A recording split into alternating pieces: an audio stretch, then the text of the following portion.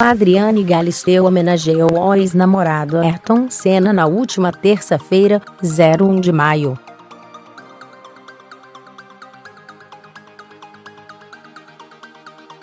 Nas redes sociais, a loira, atualmente casada com Alexandre Liodice, escreveu em uma publicação com a foto do ex-companheiro,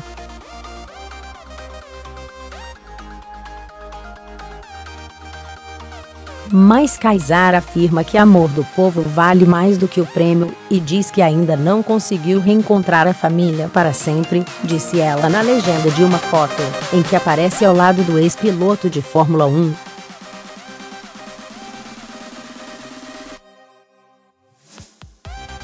Ela foi a última namorada de Senna antes do trágico acidente no GP de San Marino, em 1994.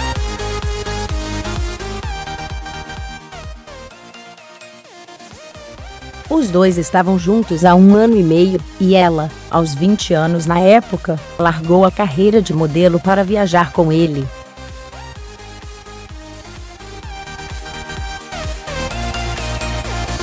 Os seguidores ficaram tocados com a singela homenagem.